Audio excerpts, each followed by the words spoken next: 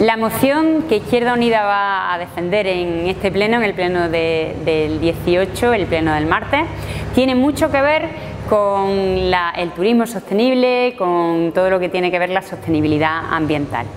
Y además mm, tiene mucha enjundia porque une muchas patas. Por un lado, la defensa de que vuelva a ponerse en carga la línea de ferrocarril del Guadiato, precisamente porque entendemos que el ferrocarril es el transporte público más sostenible ambientalmente en cuanto al medio ambiente se refiere. Pero por otro lado, también atendemos a una demanda histórica que nos parece importantísima también para el desarrollo de esta ciudad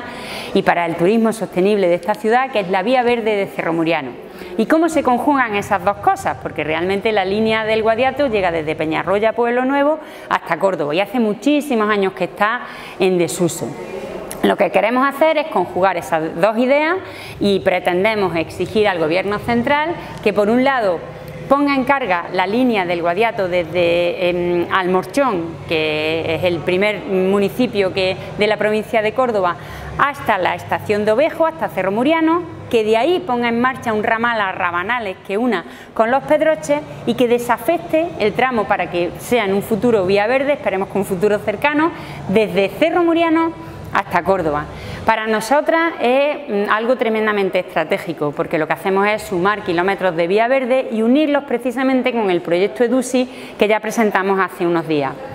que es la unión de Córdoba Capital con Valchillón, para que, porque sabéis que ahí empieza la vía verde de la campiña para Córdoba y estaba desconectada en esos 5 kilómetros que queremos unir con ese proyecto DUSI. Por lo tanto, si todo esto tiene los parabienes del Pleno, podremos empezar a luchar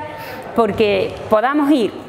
en vía verde desde Cerro Muriano con todo lo que eso significa de, vía verde por la sierra con la vía verde de la Campiña, es decir, de Cerro Muriano pasando por Córdoba podríamos llegar hasta Marchena. Nos parece un proyecto especialmente eh, importante para la ciudad, importante para desde luego la barriada de Cerro Muriano e importante para nuestra defensa que entendemos que es una defensa muy política por el desarrollo sostenible no solo de la provincia sino también de nuestra ciudad.